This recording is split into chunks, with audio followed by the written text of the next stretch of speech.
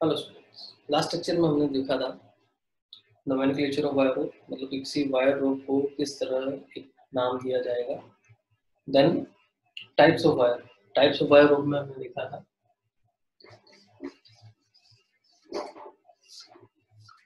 हमने उन्हें दो बेस पे डिवाइड किया था यूज़ के बेस पे और कंस्ट्रक्शन के बेस पे।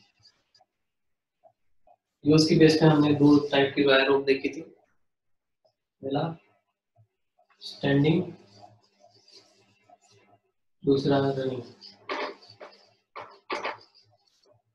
ठीक है? वही हमने कंस्ट्रक्शन बेस पे दो वायर रोप देखी थी. स्ट्रैंड्स जिस वायर रोप में स्ट्रैंड है, वो strand wire rope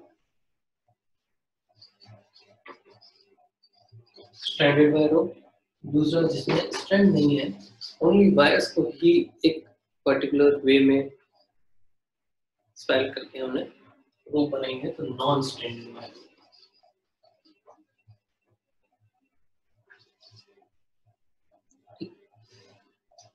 यूज़ के बेस पे हम लोग देख चुके थे। कंस्ट्रक्शन कंस्ट्रक्शन बेस पे हमने स्टैंडर्ड वायर रोप देख ली थी। तो हमारे पास बची थी non standard wire rope non standard wire rope में जैसे आप देखिए स्लाइड में no strand in this rope simple बात, इसमें स्ट्रैंड नहीं होती। कंपेयर टू पुरानी रोप हमने देखी थी, उसमें फोर वायर था। फोर था। और खुद एक वायर हो सकता है, फाइबर हो सकता है। उसके चारों तरफ़ मल्टीपल स्ट्रैंड से हर स्ट्रैंड में छोटे छोटे वायर थे। इस टाइप की कंस्ट्रक्शन हमने देखी थी इसमें यूनिट है अपने पास एक, जिसको स्पाइल करने, एक और चारों तरफ़ स्पाइल करने के बाद तो रोप बनी but non standard wire ropes के अंदर हमारे पास स्ट्रैंड नहीं है, हमारे पास सिंपल वायर रोप होगी। पहला इसमें स्ट्रैंड नहीं होते दूसरा wires are shape to be interlock wires इस तरह शेप होते हैं कि वो आपस में इंटरलॉक होकर एक होल बना रहे एक सिलेंडर टाइप बना रहे ठीक है, जो हम आगे देखेंगे इसमें।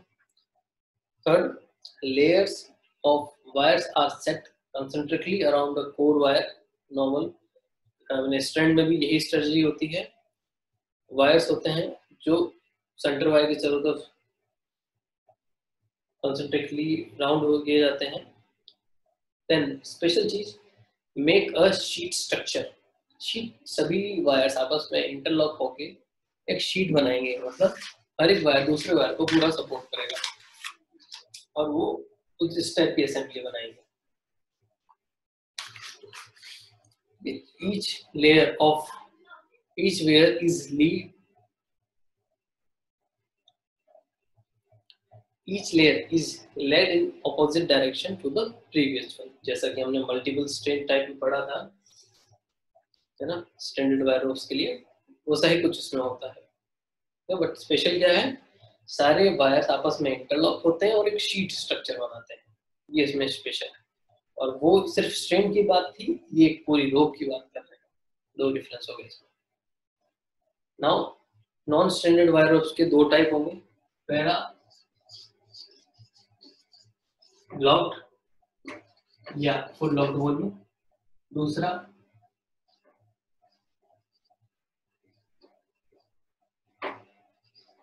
हाफ़ लॉक्ड या सेमी लॉक्ड दो टाइप है वैसे। फिगर में आप देखिए, दो अलग अलग टाइप है। लॉक्ड कॉइल और semi locked coil locked coil में या फुल लॉक्ड कॉइल आप बोल सकते हैं इसमें outer layer consist of smooth and plain surface दोनों में डिफरेंस इतना ही है सेमी लॉक्ड में लॉक्ड में। और अगर हम दूसरे वायर रोप से कंपेयर करें स्टैंडर्ड वायर रोप से और तो नॉन स्टैंडर्ड वायर रोप्स के अंदर हमें आउटर सरफेस स्मूथ और प्लेन मिलेगी, जबकि स्टैंडर्ड वायर रोप्स जिनमें स्ट्रिंग होते हैं, उनमें एक कर्व शेप होता है। हर वायर हर स्ट्रैंड का शेप आता है, उसमें हर वायर का शेप आता है। दूसरा हाफ़ लॉक में डिफरेंस थोड़ा सा है कि इसमें जो वायर्स हैं, आपको बाहर दिख सकते हैं। फुल लॉक कोई full locked and half locked. Outer surface एक अलग टाइप के वायर से बनेगी। जिसमें आउटर सरफेस आपको स्मूथ मिलेगी। ठीक है, वहीं हाफ़ लॉक के अंदर और है, इसके चारों तरफ़ वायर्स हैं। नॉर्मल जो अपने वायर होते हैं, उसी टाइप के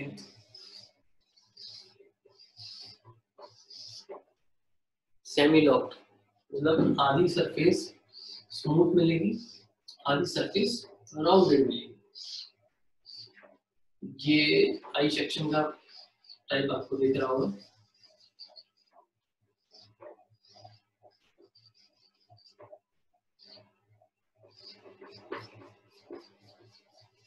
Steps down wires are placed between specially shaped wires of I section देख सकते हैं। एक फिगर और देख लीजिए।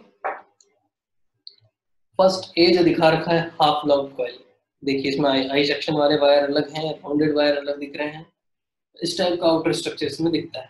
वहीं सेकंड में बी और सी दोनों एक ही रोप के कंस्ट्रक्शन कंस्ट्रक्शन दिखा रखा है। इसमें देखिए आउटर लेयर और आउटर लेयर बिल्कुल स्मूथ होती है।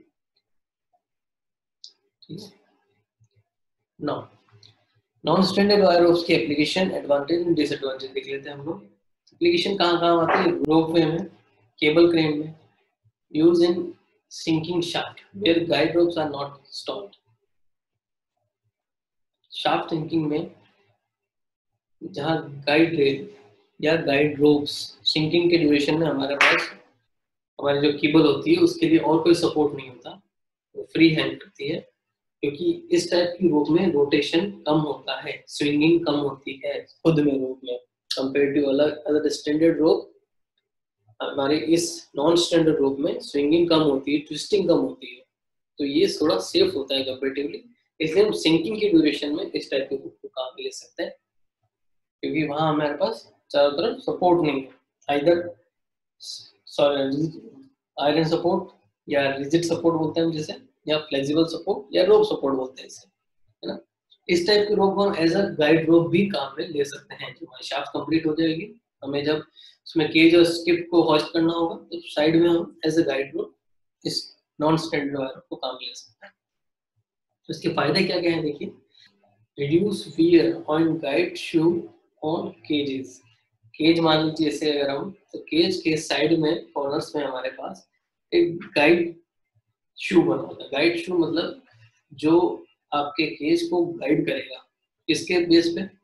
सराउंडिंग में जो रोप्स लगी रहती है, या फिर आपके सॉलिड सेक्शन लगे रहेंगे आयरन के, उनके बेस पे गाइड करेगा कि इसी वे पे केस को ट्रेवल करना है। ये तो उनमें, क्योंकि इसकी आउटर आउटर सरफेस स्मूथ होती है, इसलिए उस पर वियर शूज़ पे वियर कम होता है।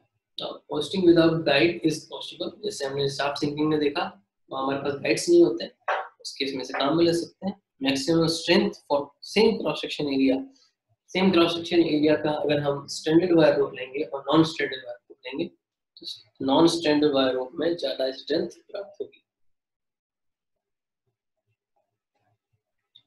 नॉन रोटेटिंग स्विंग नहीं करती। स्मूथ सरफेस होता है टाइटली पैक्ड होता है इंटरलॉकिंग टाइप की रोप्स होती हैं वायर्स होते हैं इसके अंदर तो टाइटली पैक्ड रहता है comparative to standard wire disadvantage देख लें। कंस्ट्रक्शन डिफ़िकल्ट होगा इसका। अब एक और वायर रोप का स्पेशल चीज़ है, उसे टाइम टू टाइम लुब्रिकेट करना पड़ेगा जैसे कि लॉक्ड है पूरा जैसे लुब्रिकेट करने में दिक्कत होगी। है ना? इसके स्प्लाइसिंग रोप अगर बीच में से टूट जाती है तो उसे वापस कनेक्ट करना नॉट पॉसिबल ये फ्लेक्सिबल नहीं है कंपेयर टू अगर स्टैंडर्ड रोप हैवियर होती है देन स्टैंडर्ड रोप क्योंकि इसमें कंपेरेटिवली ज़्यादा एरिया कवर होता है। नाउ कंपैरिजन देख लेते हैं। अभी तक हमने जो टाइप वायर रोप के टाइप पढ़े उनमें से बेसिक टाइप जो हमारे नॉर्मली काम आते हैं round wire stand rope flat rope locked coil rope तीन बेसिक टाइप में कंपैरिजन देखते हैं। पहला round wire rope round wire rope मतलब जिसमें स्ट्रैंड हमारे राउंडेड होंगे। ये फ्लेक्सिबल होती है इलास्टिक होती है नेचर में।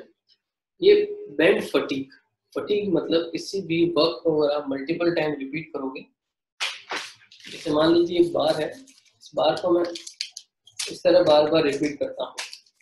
जैसा कि हम किसी वायर को तोड़ते हैं, आपने जब घर में इलेक्ट्रिसिटी वाला काम कर भी किया होगा कभी, और उसमें देखा होगा वायर को तोड़ने के लिए इस टाइप से काम करके और वायर में फटीक जनरेट करके उसे तोड़ देते हैं, है ना?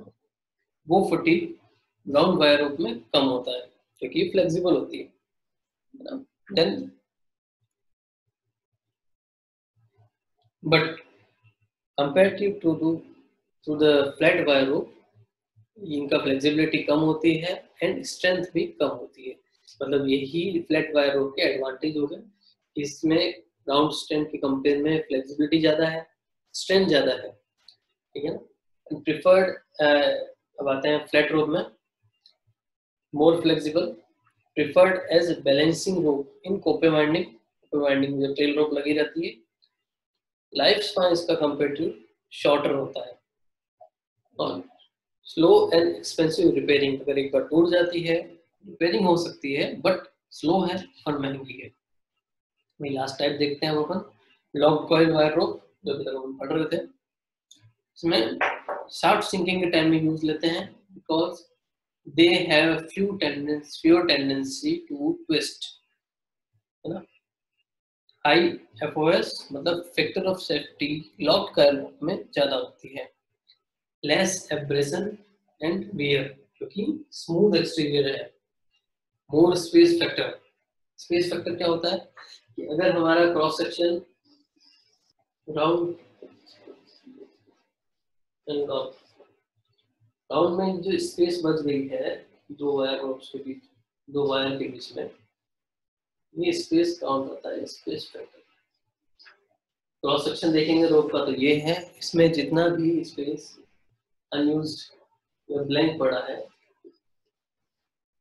खाली पड़ा है। उसे हम स्पेस फैक्टर में लेते हैं। जो स्ट्रेंथ को इफ़ेक्ट करता है। वो space factor locked coil rope के अंदर ज़्यादा होता है। और इसमें वायर्स ज़्यादा अरेंज होते हैं कंपेरेटिव दिस इंटरलॉक होते हैं इसलिए।